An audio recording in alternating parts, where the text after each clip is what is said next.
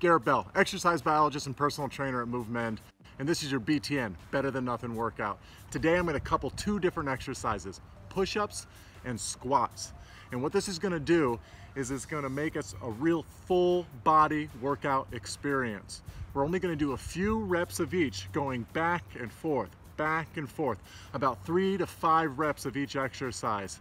And what that's gonna really do is it's gonna raise our heart rate, but it's also gonna allow for our muscles to relax in between each set so that we can really volumize our workout at the same time.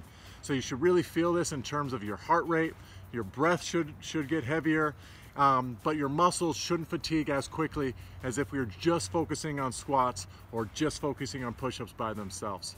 So I'm gonna do my push-ups against this wall here to make them nice and easy. My whole body drops as one unit, and I'm gonna do five reps. That's three, four, five, and then I'm gonna do my squats.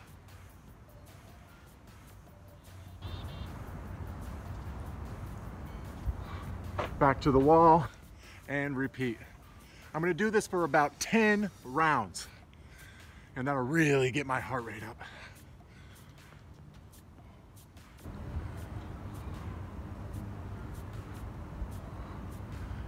So I just completed two rounds, but I would like you to do three to five reps and do it for 10, maybe even 20 rounds. And that's your BTN, better than nothing workout. These exercises are not meant for every individual. MoveMend strongly recommends individuals to consult with our therapy or training staff to ensure that training exercises they use are appropriate for their individual needs.